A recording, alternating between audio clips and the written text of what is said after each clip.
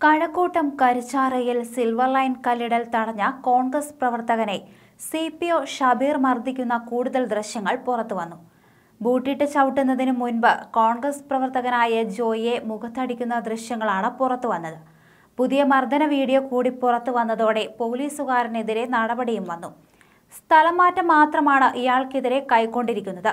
സംഭവത്തിൽ ഷബീറിനെതിരെ വകുപ്പുതല അന്വേഷണത്തിന് തിരുവനന്തപുരം റൂറൽ എസ് പി ഉത്തരവിട്ടിരുന്നു. ഇതിന് പിന്നാലെയാണ് നടപടി. സിൽവർ ലൈൻ വിരുദ്ധ പ്രതിഷേധവുമായി എത്തിയ കോൺഗ്രസ് പ്രവർത്തകൻ ജോയിയെ Mangalapuram C P O Shabeer ബൂട്ടിട്ട് ചവിട്ടുന്ന ദൃശ്യങ്ങൾ വിവാദമായിരുന്നു.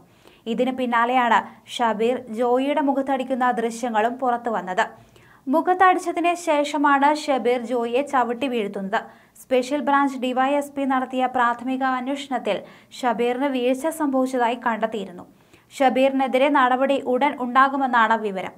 നേരത്തെയും നിരവധി തവണ അച്ചടക്ക നടപടി നേരിട്ട ഉദ്യോഗസ്ഥനാണ് ഷബീർ.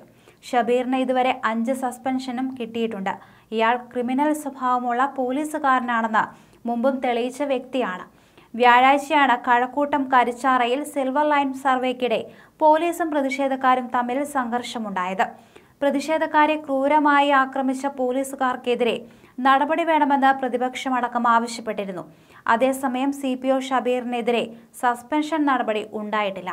പ്രാഥമിക അന്വേഷണത്തിൽ വീഴ്ച കണ്ടെത്തിയതിനെ തുടർന്നാണ് ഉത്തരവ്. സമരത്തിനിടെ ഷബീർ പ്രതിഷേധക്കാരെ ചവിട്ടിയെന്ന് സ്പെഷ്യൽ ബ്രാഞ്ച് സ്ഥിരീകരിച്ചിരുന്നു.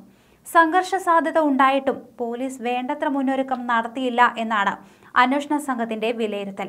കഴിഞ്ഞ വ്യാഴാഴ്ചയാണ് സിൽവർ ലൈൻ പദ്ധതിയുടെ ഭാഗമായി കഴക്കൂട്ടത്തിനടുത്ത് കണിയാപുരത്ത് കല്ലിടാനെത്തിയ ഉദ്യോഗസ്ഥരെ തടഞ്ഞ നാട്ടുകാരെ പോലീസ് മർദ്ദിച്ചത്.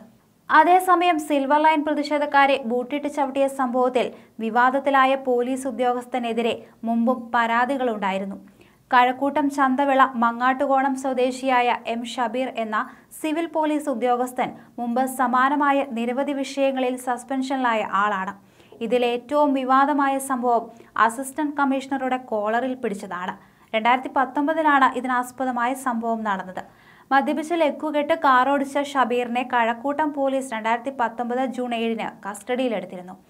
അപകടകരമായി വാഹനം ഓടിച്ചതിന് കസ്റ്റഡിയിലെടുത്ത ഇയാളെ സ്റ്റേഷനിൽ എത്തിച്ച സമയത്ത് അവിടെയുണ്ടായിരുന്ന അസിസ്റ്റന്റ് കമ്മീഷണറുടെ കോളറിൽ പിടിച്ച് അപമര്യാദയായി പെരുമാറിയതിനെ തുടർന്ന് വകുപ്പുതല നടപടി നേരിട്ടിരുന്നു. ഇതിന്റെ പേരിൽ സസ്പെൻഷൻ കിട്ടി തിരികെ സർവീസിൽ കയറിയിട്ട് അധിക നാളായിട്ടില്ല.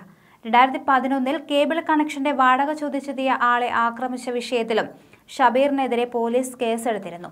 തുമ്പ പോലീസ് സ്റ്റേഷനിൽ ഇത് സംബന്ധിച്ച കേസുണ്ട്. ഇതേ വർഷം തന്നെ സുഹൃത്തുക്കൾക്കൊപ്പം ചേർന്ന മറ്റൊരാളെ ആക്രമിച്ച സംഭവത്തിലും ഇയാൾക്കെതിരെ കേസെടുത്തിരുന്നു. മെഡിക്കൽ കോളേജ് പോലീസ് സ്റ്റേഷനിൽ ജോലി ചെയ്യുന്നതിനിടെ അഭിഭാഷകനെ മർദ്ദിച്ച കേസും ഇയാൾക്കെതിരെയുണ്ട്. ഇങ്ങനെ തുടർച്ചയായി അഞ്ച് സസ്പെൻഷൻ വാങ്ങിയ ഷബീറാണ് ഇന്നലെ സിൽവർ ലൈൻ വിഷയത്തിൽ സമരക്കാരെ ബൂട്ടിട്ട് ചവിട്ടിയ വിഷയത്തിൽ വീണ്ടും വിവാദത്തിലായത്. ഇപ്പോൾ മംഗലാപുരം പോലീസ് സ്റ്റേഷനിലാണ് ഷബീർ ജോലി ചെയ്യുന്നത്. സമരക്കാരെ മർദ്ദിക്കുന്ന ദൃശ്യങ്ങൾ സമൂഹ മാധ്യമങ്ങളിൽ വൈറലായിരുന്നു.